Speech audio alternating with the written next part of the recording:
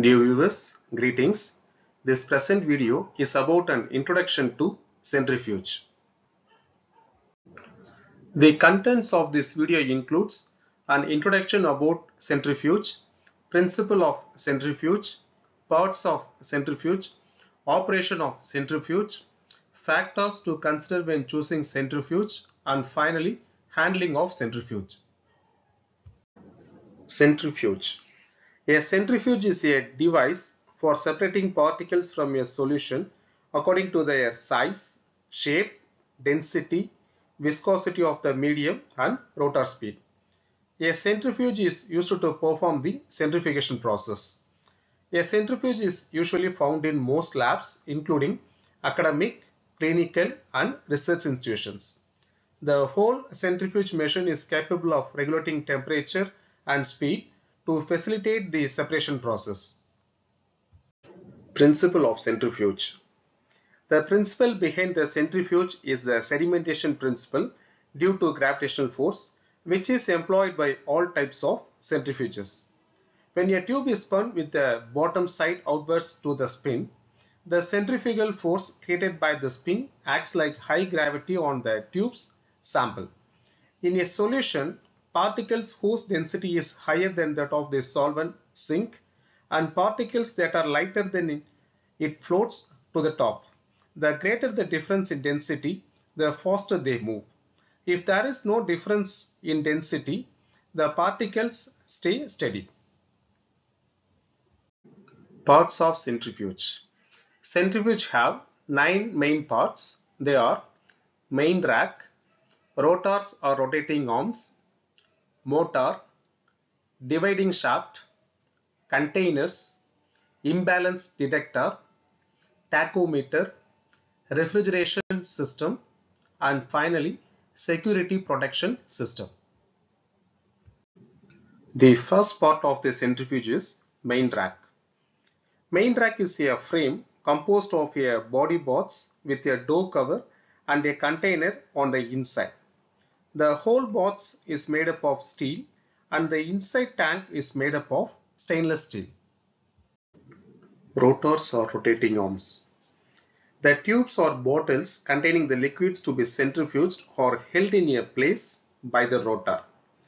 Rotor is the rotating unit of centrifuge. Rotor is the movable part of machine which separates the particles present in the sample. For low speed centrifugation, rotor is made up of brass or steel with low stress and for high speed centrifugation, rotor is made up of aluminum or titanium with high stress. The rotors are divided into several angular rotors and some horizontal rotors. The resistance in the horizontal rotors is larger than that in the angular rotors.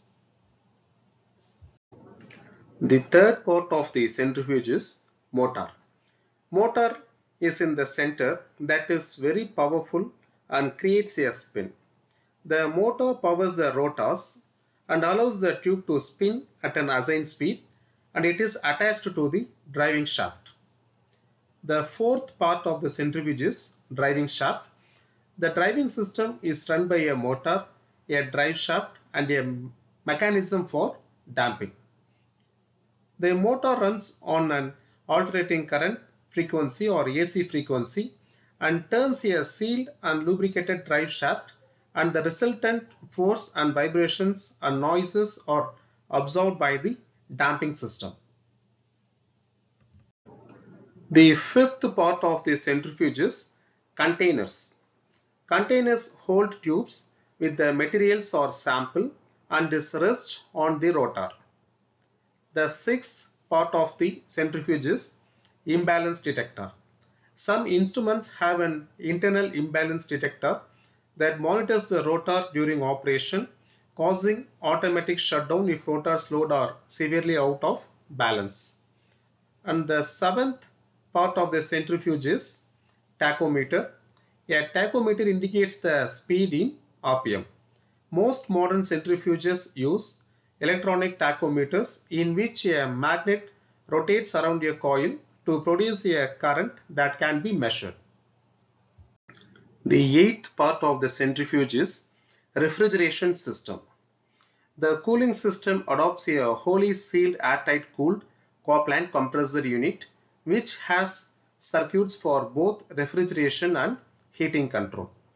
And the final and ninth part of the centrifuge is security protection system. Security protection system is a safety protection system that has a main current protection, high temperature protection, high speed protection, balance protection and the door cover protection. Operation of centrifuge. The operation of centrifuge have 5 steps. In step 1, place the test tube with the sample into the container or portals. In step 2, balance the samples but insert water filled tubes for balance when there is an odd number of samples. In step 3, close the lid and select the required time and speed. In step 4, start the centrifuge and wait for the cycle to complete and in step 5, when the centrifuge stops, take out the balance and the sample. The separated sample is now ready for analysis. Factors to consider when choosing a centrifuge. When choosing a centrifuge, there are many factors to consider to find the centrifuge that best suits your specific needs. Some of the main considerations are speed range, setting resolution, rotor imbalance, display type, overall dimension, centrifuge weight, energy efficient, nominal functioning voltage and power consumptions. The first factor is speed range. When selecting a centrifuge, it is important to consider the speed of the rotor as this will determine the maximum amount of force that can be generated. The faster the rotor speed, the higher the centrifugal force. The second factor is setting resolution.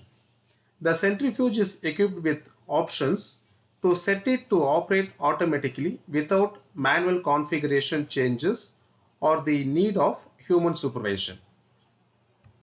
The third factor is rotor imbalance. An ideal centrifuge should have sensors that detect any rotor imbalance to avoid spilling and disruptions of separating procedures. The fourth factor is display type.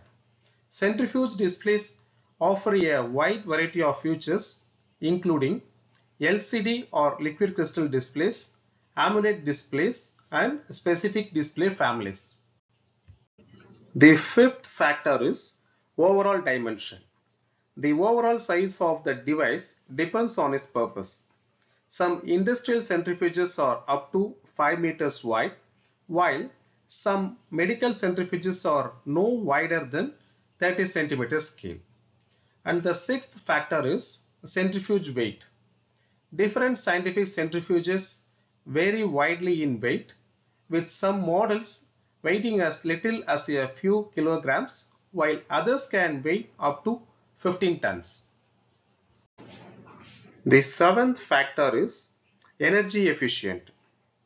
Variable frequency drive or VFD can help to reduce energy consumption by regulating the speed of the centrifuge motor.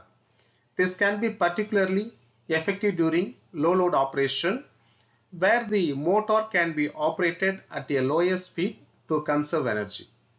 And the next factor is nominal functioning voltage. Depending on the location of where the centrifuge needs to be used, functional voltage needs to be considered. Some areas have a plug voltage of 240 volts while some have a large working voltage. A large industrial centrifuge cannot be used in a residential area as it requires a lot of voltage for it to barely function. The ninth factor is power consumptions. A high power consuming machine requires a steady and reliable energy source so that it functions properly without failing. Handling of centrifuge. For proper functioning of the centrifuge, it requires constant care and maintenance. There are some measures to consider before, during and after using the device to increase its lifespan. They are lubricate the machine, regular repairing, regular cleaning and laboratory personnel. First, lubricate the machine. The rings in the centrifuge are crucial as they prevent leaking from the sample. Hence, lubrication of rings after cleaning, rotor installation and repairing with Hettich grease is necessary. The second, regular repairing. The centrifuges should be checked regularly for any damage, unfamiliar noises, grinding and unnecessary vibrations.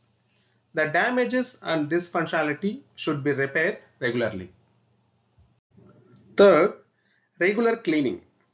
The rotors, chamber of rotors, the interior of the centrifuge and electrical components are some of the parts that need constant cleaning using alcohol based disinfectant and a soft cloth.